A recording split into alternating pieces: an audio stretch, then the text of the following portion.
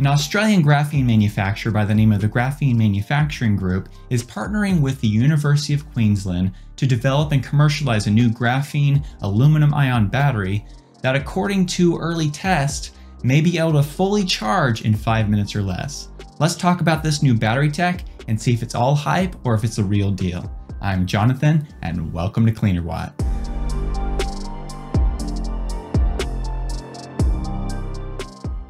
Let's start off by talking a little bit about the Graphene Manufacturing Group itself. On their website, the Graphene Manufacturing Group described themselves as a clean, technology focused company which aims to offer energy saving products and solutions and energy storage products enabled by graphene manufactured in house via a proprietary production process.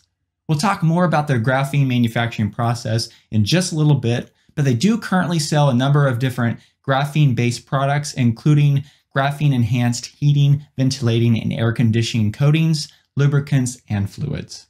According to an April 2021 article from the University of Queensland, quote, Brisbane-based Graphene Manufacturing Group will manufacture battery prototypes for watches, phones, laptops, electric vehicles, and grid storage under a research agreement with the scientists of the University of Queensland's Australian Institute for Bioengineering and Nanotechnology.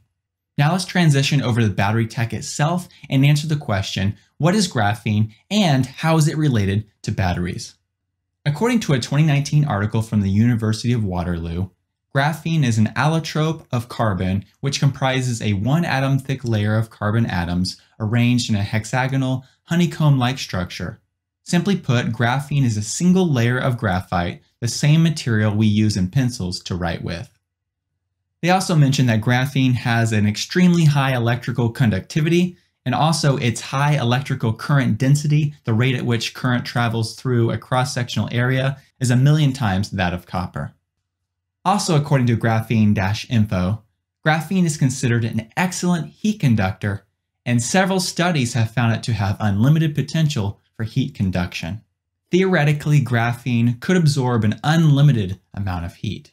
When you combine these two attributes, high electrical conductivity and also high thermal conductivity, this potentially allows for extremely fast charging and discharging as well, all while maintaining safety. These graphene aluminum ion batteries are made up of the following materials. The cathode is made up of graphene, the anode is made up of aluminum in a foil form, and the electrolyte is made up of aluminum chloride. It's important to point out that aluminum ion batteries are not new. When it comes to charging speeds, these graphene aluminum ion batteries can charge fully in around 5 minutes or less, obviously much faster than lithium ion batteries. According to Craig Nicol, the director and CEO of the Graphene Manufacturing Group, the aluminum ion battery is a well known laboratory product that is proven to be a hybrid supercapacitor battery. Now, what is a hybrid supercapacitor? Well, a regular supercapacitor can be charged and discharged very quickly without damage. However, it has very little energy density and it has a low operating voltage, lower than that of a traditional lithium ion battery. On the other hand, a lithium ion battery has a much greater energy density, but does not have the ability to charge and discharge as quickly without damaging the cells. A hybrid supercapacitor is a mix of these two technologies, and according to Eaton's website, quote, hybrid supercapacitors have a higher operating voltage, and much higher capacitance and energy density than symmetric supercapacitors. However, while these hybrid supercapacitors do have a much higher energy density compared to standard capacitors, they still fall short of current lithium ion battery tech. Other lab tested graphite aluminum ion batteries have energy densities well below 100 watt hours per kilogram. However, the University of Queensland has developed a process that the CEO of the graphene manufacturing group, Craig Nichols, describes as drilling holes in the graphene platelets to allow the aluminum atoms to sit tighter, which reduces the amount of weight you need to store a charge. This results in a graphene aluminum ion battery with an energy density in the 150 to 160 watt hours per kilogram range. Here is a chart illustrating the approximate energy density of the Tesla 18650 cells and the 2170 cells in 2019 as well as my estimates for Tesla's new 4680 batteries. As you can see, these aluminum ion batteries definitely fall short when it comes to cell level energy density. However, that is not all that matters. As this Clean Technica article points out, Aluminum ion batteries do not overheat nearly as much as lithium ion batteries do. Almost 20% of the weight and cost associated with a lithium ion battery pack is attributable to high performance cooling systems, which can be eliminated in most aluminum ion battery use cases. This reduction in cooling systems could make this technology make sense for a lower cost, lower range electric vehicle. Also, with the ability to rapidly charge these batteries in one to five minutes, the shorter range becomes much less of an issue. Here's a chart that I've used in a past video showing the pack level energy density numbers for Tesla's and NIO's battery tech for a comparison. As you can see, there is quite a reduction from cell level to pack level energy density due to packing and cooling materials needed for these packs. Without the liquid cooling systems, this would allow for the aluminum ion batteries to be a lot closer to the pack level energy density of lithium ion batteries. When it comes to the cycle life of this new technology from the graphene manufacturing group, according to this Clean Technica article, these graphene aluminum ion batteries are able to last over 2,000 charge and discharge cycles without any major performance loss.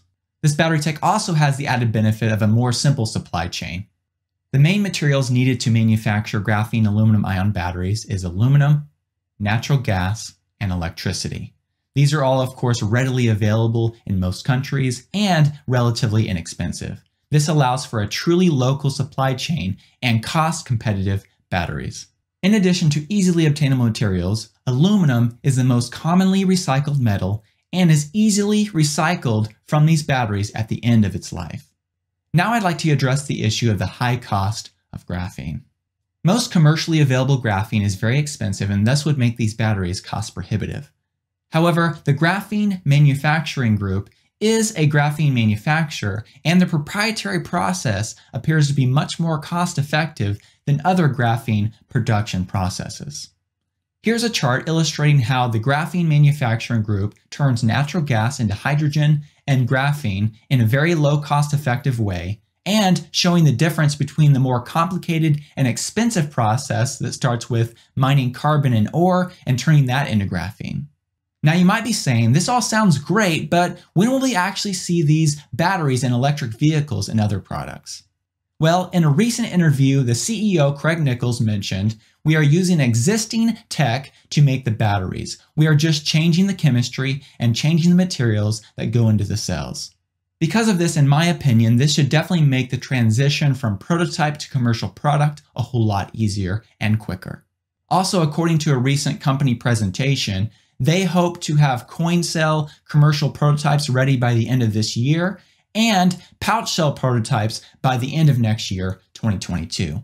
They illustrate these pouch cells being used in cell phones, laptop computers, grid storage, and also electric vehicles once they have proven them out. So in summary, these graphene aluminum ion batteries have the potential to charge extremely quickly, they decrease the risk of fire, and also lower the cost of these batteries while simplifying the supply chain for the battery materials needed to manufacture them. Also, despite their lower energy densities, they still appear viable for lower cost, shorter range electric vehicles. So while this technology is not hype and does offer a lot of promise, unfortunately it will still be quite a while before we see this technology in electric vehicles.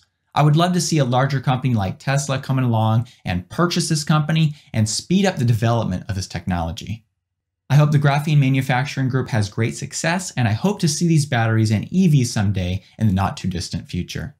Thank you so much for watching this video. I hope you enjoyed it and that you learned something as well. If you're not already subscribed to this channel, please consider subscribing. And if you do subscribe, if you click the bell icon, you'll be notified when new videos are published. Also, if you did like the video, please consider clicking the like button because that helps other people find the video as well. I also like to take a moment to thank the Patreon supporters who support me every month and help make this content possible. If you'd like to find out more about the Patreon community I've set up, I'll put a link in the description below. Thank you so much.